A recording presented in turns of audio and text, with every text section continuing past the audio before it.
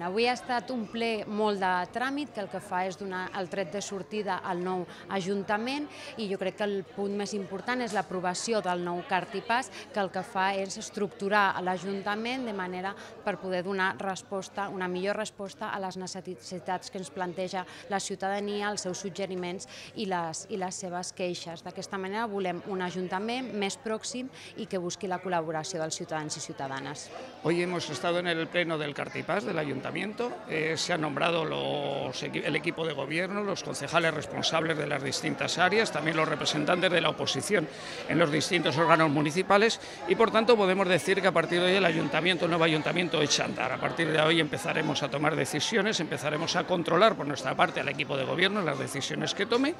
y nos pondremos las pilas para conseguir que Viladecans prospere, que és nostra intenció. Avui hem fet el primer ple, eh, un ple extraordinari per aprovar el cartipàs i nosaltres doncs, hem destacat destacat eh, allò que no estem d'acord, que és una certa manca de transparència i centralització de poder, ja que aprofiten, evidentment, que tenen majoria per buidar de competències al ple per traspassar-ho a la Junta de Govern o a l'alcaldia. I una altra cosa que nosaltres no estem d'acord doncs, són 12 càrrecs de confiança que tenen un elevat cost, eh, uns sous, nou dels quals és superior al propi sou de l'alcalde, que són 65.000 euros, i també hem destacat doncs, un tema de retallades de sous, que entenem que és el que toca pels temps que passem, però és molt desproporcional entre la gent de, la, de govern, que és una retallada del 5%, i la gent de l'oposició, entre un 30 i un 50%. Bé, aquest ha estat el, el primer ple d'aquesta nova legislatura. Ha estat un ple extraordinari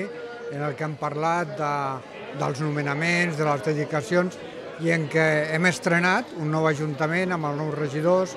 i el que vull dedicar és a tots els regidors la nostra felicitació i que tinguem sort i ho fem bé tots en aquesta legislatura. Estem a l'inici de la legislatura. Eh, en principi el nostre vot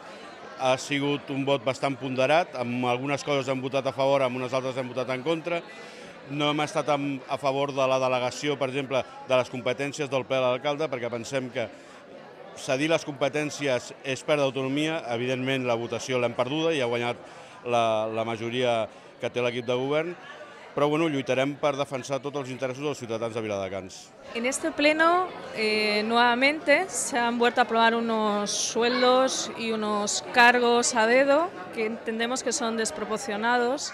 Tendríamos que adecuarnos un poco a la calle, a la realidad de la calle, a los sueldos de la calle y a las circunstancias de la calle. Entendemos que tienen que desaparecer los cargos a dedo, los asesores, aquellos que considere el alcalde, y que ese presupuesto, que son cerca de 739.000 euros, ha de ir a partidas donde es más necesario, como los servicios sociales, para atender las necesidades de la gente de Viladecans. Desde Guanyén Viladecans CAP hemos asistido a este pleno para aprobar el cartapacio municipal. Nosotros entendemos que las estructuras municipales, de cara a hacer un nuevo municipalismo, tienen que ser más abiertas a, las personas. La participación en el pleno de, todo el mundo dentro de una medida es muy importante. Para eso eh, esperamos que en trabajar en documentos que implementen esa nueva manera de hacer política.